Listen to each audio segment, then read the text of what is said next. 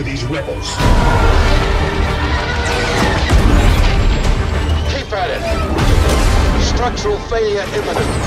Finish them off.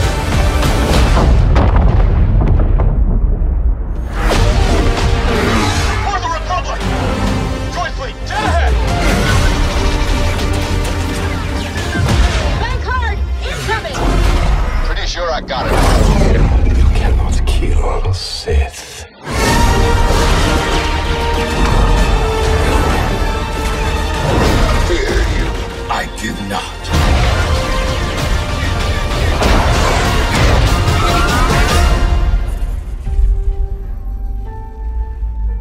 Muy buenas a todos y bienvenidos a Tyson TV desde Alemania, desde Colonia, desde la Gamescom, que es donde me encuentro ahora mismo. Alguno dirá, Tyson, has tardado un mogollón de horas en publicar el análisis del tráiler. ¿Qué cojones te ha pasado?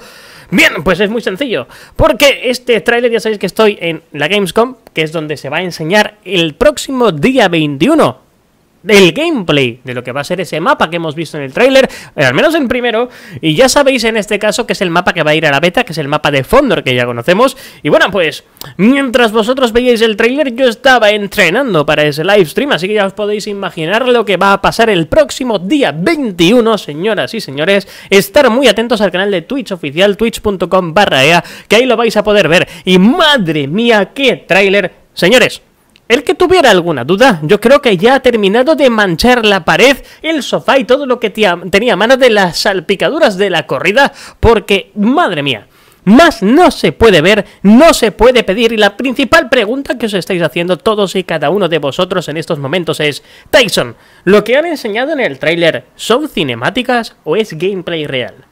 Os puedo asegurar al 100% que es gameplay. Sí, señoras y señores, Star Wars Battlefront 2 va a venir cargadísimo nos han confirmado un montón de mapas míticos de la saga Star Wars en este tráiler y no han dudado en hacerlo. También hemos visto cosas muy espectaculares y vamos a pasar a analizarlo. Recordar que estoy con un portátil de mierda con el que solo leer los chats en directo habitualmente, que me lo he traído aquí a Alemania. Así que este análisis lo voy a intentar hacer que quede lo mejor posible, pero es posible que alguna imagen quede desincronizada o algo, puesto porque ni siquiera puedo previsualizar el vídeo que os estoy preparando desde aquí, pero eso sí, os puedo asegurar que estar muy, pero que muy atentos al canal desde mañana mismo, porque en cualquier momento, en cualquier hora, cualquier día, en cualquier momento puede suceder cualquier cosa de las que no puedo decir nada más que eso.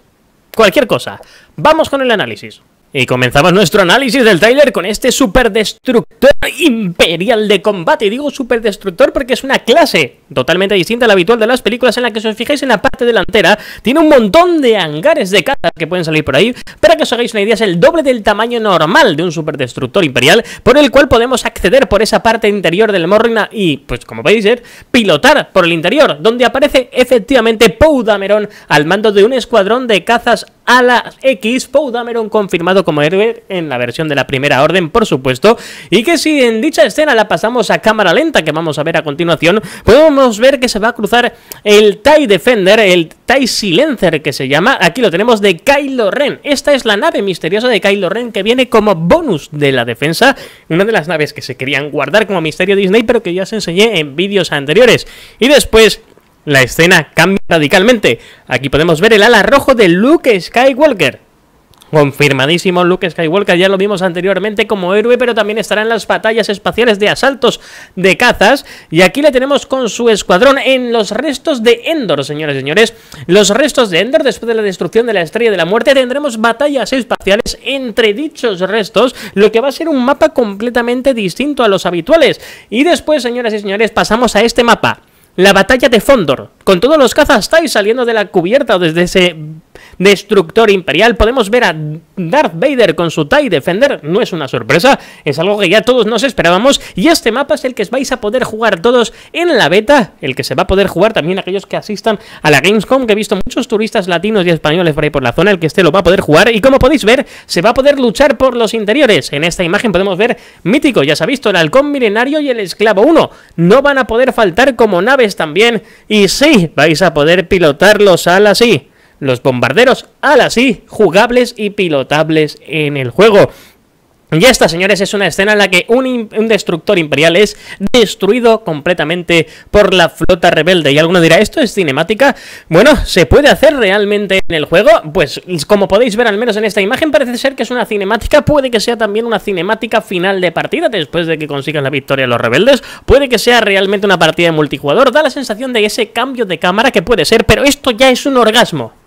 Los clones y sus naves clones, los cazas clon, aquí los tenemos en ese primer plano, en este planeta de Riloth que nadie se esperaba que pudiera aparecer. Y podemos ver un montón de naves, podemos ver este ala B, este ala B que podemos ver aquí, unos bombarderos que podemos ver también clones, y esto da la sensación de que cada bando en las batallas espaciales va a tener tres clases de aviones para elegir, tres clases de cazas, cazas de ataque, cazas más rápidos y bombarderos, que como podéis estar viendo, y también de ahí pasaremos luego a las naves de los héroes, es decir, va a haber multitud de naves, yo os puedo decir que hay una gran barbaridad, madre mía, lo que se va a poder disfrutar, fijaros estas escenas, porque aquí lo que tenemos es el caza, de Darth Maul, que como veis tiene un poder para hacerse invisible, una habilidad de hacerse completamente invisible y aquí cambiamos radicalmente de mapa el mundo de camino que a muchos os pone y os encanta. Y aquí vamos a ver a Darth Maul en el interior de la cabina de su nave diciendo que no se puede matar a un Sith luchando en camino en esta batalla cambiante que de repente de batallas espaciales como veis pasamos a lucha sobre los cielos de camino con esta pedazo de tormenta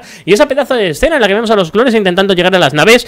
Señores, la que se viene es tremenda. Podemos ver este modelo prematuro de bombardero a la I, una versión clon no sé el nombre exactamente, que podemos ver cómo lanza esos misiles ahí y podemos ver este animal autóctono de camino cuyo nombre no me sé. Y la verdad no he tenido tiempo ni de buscarlo en Google. Impresionante. Y esto sí que no se lo esperaba nadie. Ya hemos visto a Yoda sacar su sable contra Darth Maul, pero Yoda pilotando una nave, pilotando un caza y este es el caza de Yoda. Señoras y señores, dando guerra, persiguiendo la nave de Darth Maul. Yoda va a poder pilotar naves y va a, participar en esas batallas espaciales. Y como última escena colofón, nos dejan estos dos destructores clones que se están chocando entre ellos y Yoda que se escapa. Señoras y señores, se viene lo más épico que pueda venir a Star Wars Battlefront. Nadie se esperaba nada de esto. O sea, es impresionante. Ojalá os pudiera decir más, pero vais a tener que esperar hasta el día 21. Porque lo que hay es épico con esta, primero, las regiones desconocidas con ese nuevo modelo de superdestructor imperial. Lo hemos confirmado a Poe Dameron.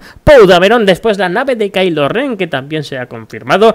Después hemos podido ver también ese Luke Skywalker con su bala rojo y R2 de 2 que también estaba en la camina, para después ver cómo salen los cazas TIE de ese destructor imperial, de esa cubierta, de esa parte superior que tienen los destructores famosos de la película. Hemos visto también a Darth Vader ahí su carita dentro de la cabina, en fondo del astillero espacial ese mapa que vamos a poder luchar hasta en el interior de las naves y que va a estar disponible en la beta en la Gamescom. Hemos visto al halcón milenario, al esclavo 1 también, confirmados también como naves de héroes, los alas y pilotables. Madre lo que se viene, señores. Yo no sé a qué esperáis, para mía para magiaros con esto porque es impresionante aquí es el destructor que está siendo atacado y cómo explota el detalle de la explosión. Impresionante, muchas de estas cosas se habían pedido. ¿Y qué me decís de las naves de guerra clon? ¿Qué me decís de esto? Que era lo más esperado con esos cazas clones. También hemos podido ver algunos modelos de naves distintas como los Alas B y algunos otros. El planeta de Ryloth o Riloth o como lo queréis pronunciar. Señores, se viene lo más épico de la historia. Yo la verdad no me esperaba gran cosa de lo que he visto en este tráiler, no me esperaba que fueran a enseñar tanto.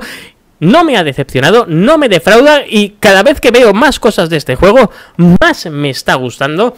Se va a pasar, señoras y señores, esto el juego del año. Se viene juego del año. No me canso de decir juego del año. Después hemos confirmado clarísimamente el mundo de camino con la nave también de Darth Maul, que con ese poder de invisibilidad o de camuflaje, por así decir, hemos visto a Yoda pilotando también una nave, ese ambiente con esa tormentoso de camino.